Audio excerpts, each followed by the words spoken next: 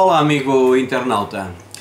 Gostaria hoje eh, de lhe falar eh, precisamente de uma mensagem eh, que eu recebi aqui no meu computador através do Facebook de alguém que me questionava não só em termos profissionais acerca de um assunto que não vem agora aqui ao caso, como deve imaginar, mas que depois, e a propósito dessa mensagem que ele me dirigiu, e já que estava, entre aspas, com a mão na massa, fez questão também eh, de, de dar a sua opinião acerca destas conversas que eu aqui assim tenho consigo, como agora acontece, face to face. Face to face, porque é face to face e também é também no Facebook. Uh, e então dizia este nosso amigo, que para todos os efeitos uh, vamos imaginar que se chama Telmo, uh, e dizia então o nosso amigo Telmo, depois desse tal desse tal assunto profissional, desse tal assunto pessoal que não vem agora aqui ao caso, e dizia assim: Eu tenho visto algumas das suas videocrónicas. Nunca tinha ouvido, nunca, nunca ninguém me tinha falado em videocrónicas, mas está bem, realmente é um nome muito apropriado. E então dizia o nosso amigo Telmo, para todos os efeitos, dizia assim: eh, Tenho visto algumas das suas videocrónicas e comentando a última, uh, quanto aos maus olhados, portanto ele está a falar daquela, daquela, de uma das últimas crónicas que eu, que eu aqui de facto tive consigo, onde falava precisamente não só do mal olhado, mas também uh, da água benta e, e, do mau uso da dita cuja e de outras coisas que tais, e portanto se o amigo internauta não sabe do que é que eu estou a falar, é fácil, basta de facto ir uh, à minha conta pessoal no YouTube, uh, procura mal olhado e encontra de facto logo esta crónica de que este meu amigo Telmo está aqui a fazer referência. Então, uh, dizia, dizia, ou continuando aqui no, na mensagem que ele me deixou no Facebook, dizia assim: Tenho visto algumas das suas videocrónicas e comentando a última, quanto aos maus olhados, conheço o caso específico de uma pessoa que, diz ele, segundo diz que disse, da aldeia, tem o livro de São Cipriano. E por isso muita gente teme o que ela possa fazer com ele. Eu desconheço o livro, nem sei se realmente o tem ou não, mas não me deixo levar por essas coisas. E não faço nem deixo de fazer nada por isso, mas muita gente teme o seu poder Pois é. Eu por acaso até tenho o livro São Cipriano, só que sinceramente comprei-o há tempos, há uns anos, ah, só que realmente andei à procura dele aqui na estante, na estante dos livros e não o encontrei. Se calhar fiz aquilo que não se deve fazer, diz, diz o livro, que é emprestá-lo, ah, porque realmente de facto não se deve fazer, porque emprestando nós ficamos sem ele. E eu sinceramente já nem sei bem a quem é que emprestei. Estive aqui a procurar nos, nestes livros todos que tenho aqui aqui no meu escritório uh, e de facto não encontro, uh, mas fica prometido.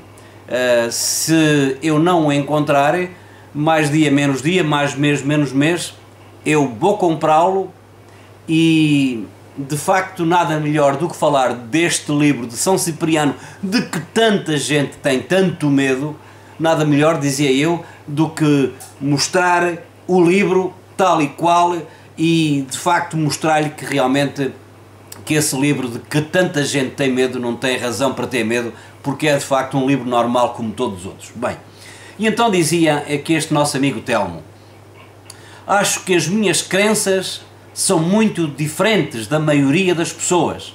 Muita gente diz ah, Deus há de dar um jeito e espera que Deus o faça efetivamente.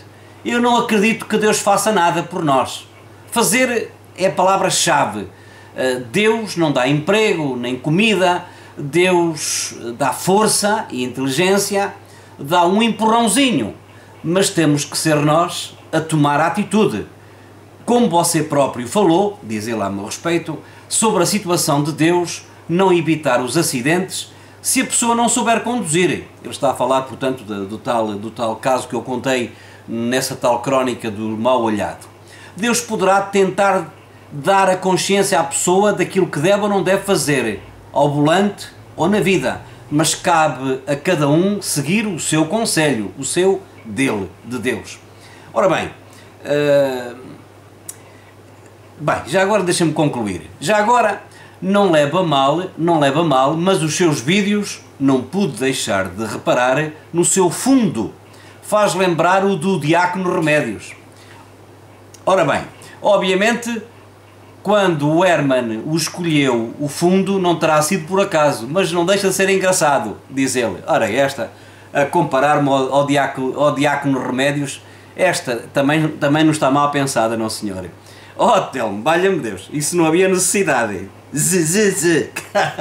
Ora bem, isto, amigo internauta, obviamente que, independentemente de se parecer com o diácono de Remédios, que o Herman lá parodiou, lá isso de facto já não comento, fica ao seu critério fazer uh, estas análises e estas comparações e não me interessa de facto ser comparado com. O que importa é que neste paleio que não seja um paleio furado, que não seja um paleio de, de, de, de uh, um paleio de chacha, mas que seja efetivamente uma conversa, mesmo que eventualmente seja um monólogo, porque de facto, infelizmente, não tenho daí a não ser pelos comentários, qualquer feedback.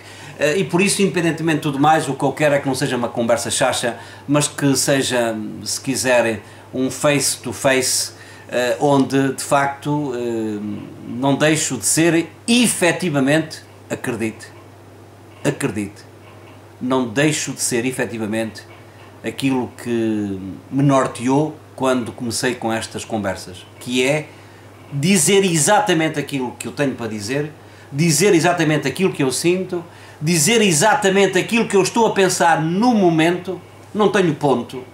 Eh, é natural que estas coisas não saiam assim muito, às vezes, muito direitinhas, porque eh, a conversa corrida dá isto, a conversa que vem do coração dá isto e portanto, amigo internauta, eh, se pensa que tenho aqui de facto um papel para eu, para eu ir lendo uh, e para depois eu cortar, é exatamente como sai.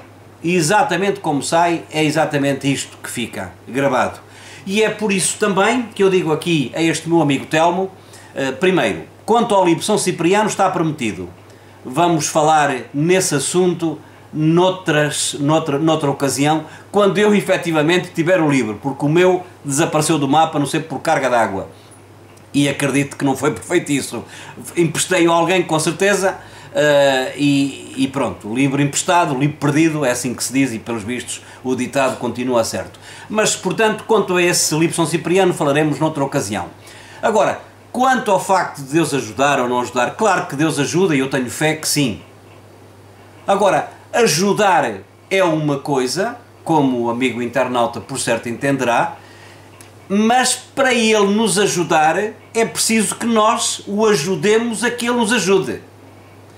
Deus pode querer ajudar e quer, mas se eu não quero que ele me ajude, ele não pode fazer nada, mesmo tudo podendo. Ele tudo pode, é omnipotente. Ele tudo sabe, é omnisciente. Ele está em todo lado, é omnipresente mas, amigo internauta, ele dá ao homem, ao homem e à mulher, o melhor que pode dar, o melhor presente que nos pode dar, que é a liberdade. Para fazer aquilo que a gente quer, independentemente da nossa decisão, Deus pode não concordar, mas respeita. Respeita porque dá a cada um isto mesmo, o melhor presente que nos pode dar a liberdade. E cabe ao homem gerir, usufruir dessa liberdade da melhor ou da pior maneira. Mas depois não culpemos Deus pelas nossas decisões. Agora, que Ele nos ajuda, ajuda. Mas é como este nosso amigo Telmo uh, nos diz: a forma de Ele nos ajudar é precisamente pedindo também a nossa colaboração. Eh, ele até pode dizer assim, opá, não vais por aí, porque se tu vais por aí a essa velocidade, tu vais te dar mal. Só que se Deus fizesse isso, ele estaria, como deve imaginar, a interferir na nossa liberdade. E por isso, ele ajuda, mas a forma que ele tem de, de nos ajudar é precisamente uh, através da nossa consciência formada, formada e informada não por ele, porque Deus não informa nem forma. Cabe a cada um de nós ouvindo a sua palavra, sabendo aquilo que ele pensa, e sabendo aquilo que ele pensa é escutar a palavra de Deus. É aí, é escutando também estando informado acerca do que se passa no mundo, porque hoje Deus fala-nos através da Bíblia e através da televisão e através dos jornais e através dos acontecimentos e através dos sinais dos tempos. É estando assim informado que nós vamos formando também a nossa consciência, confrontando a nossa vida com aquilo que Ele nos diz na Sua palavra, na palavra de Deus, que Ele nos transmite na, na Eucaristia, que Ele nos transmite através da Sagrada Escritura. Ora, se eu que tenho essa possibilidade de me informar e de me formar, se eu não me informo nem me formo, obviamente, amigo internauta, por mais que eu queira que ele me ajude, se eu não o ajudo a ele a ajudar-me a mim, não tenho qualquer hipótese.